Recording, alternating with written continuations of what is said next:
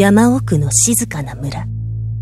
そこに響く音は、川のせせらぎ、森のざわめき、鳥の歌、虫の鳴き声、そしてこの世ならざる、怪異。異界から漏れくる声は、野山に混じり、人を蝕み、ついには連れ去ってしまう。ほら、耳を澄ましてごらん。こえるかい？彼らの声が。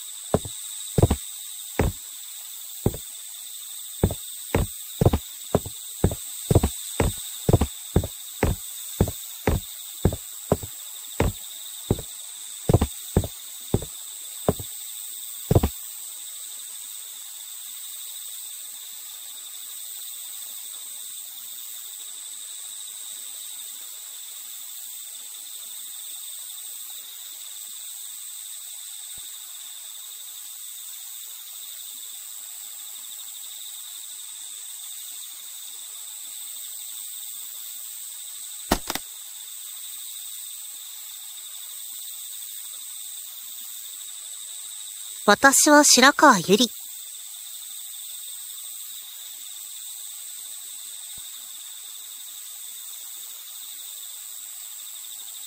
私は V でもチューバーでもない。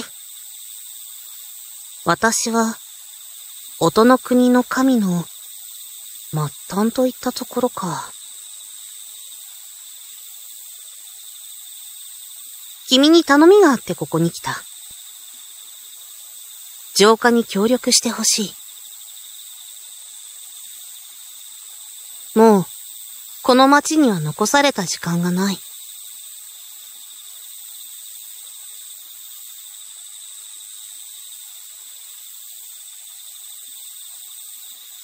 そうだな。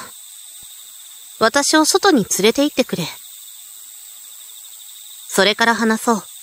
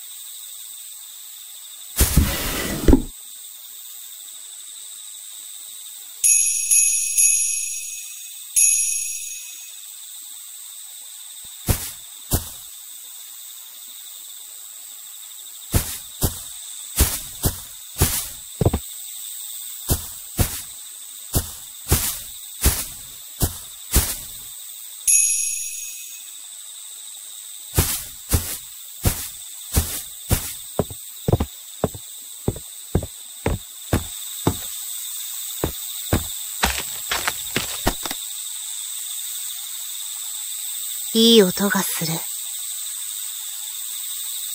これはこの国の虫の鳴き声か。かつては素敵な場所だったんだな。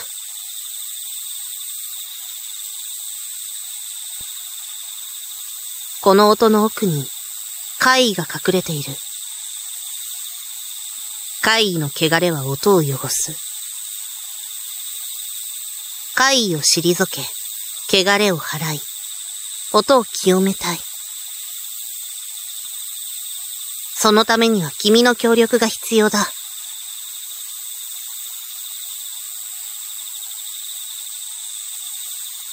気づかないのも無理はない。この国の民は聴覚が鈍いらしいから。とはいえ、汚れた音が聞こえなくても、汚れの影響は受けるはずだ。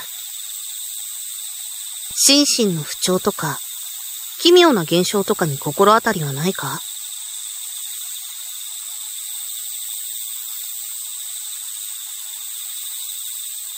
協力してくれるということだね。よろしい。まずは、川のせせらぎがよく聞こえる場所に行ってくれ。その音が汚されているようだ。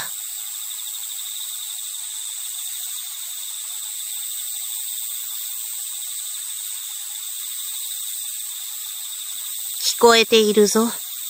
そんなことをしても無駄だ。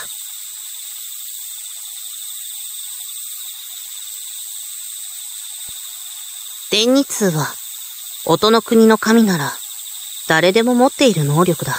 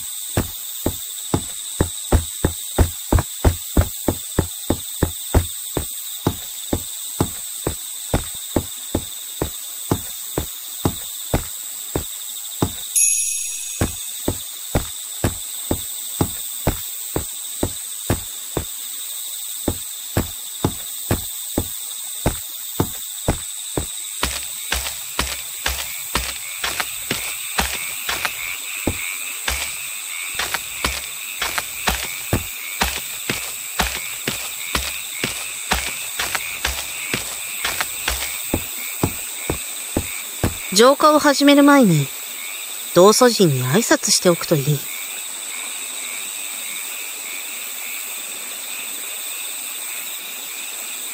私と同祖人の力を十円玉に注ぎ込めば、それが時の道しるべとなる。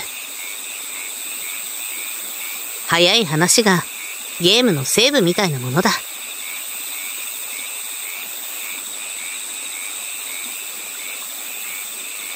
君がそれを知る必要はない。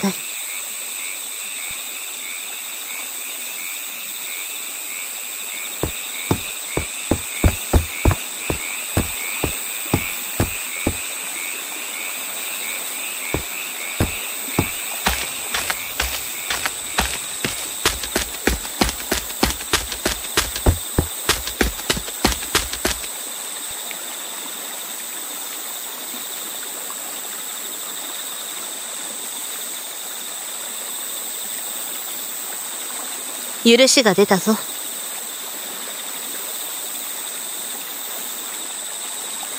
怪異に襲われているような状況でなければ、ここで時の道しるべを作れる。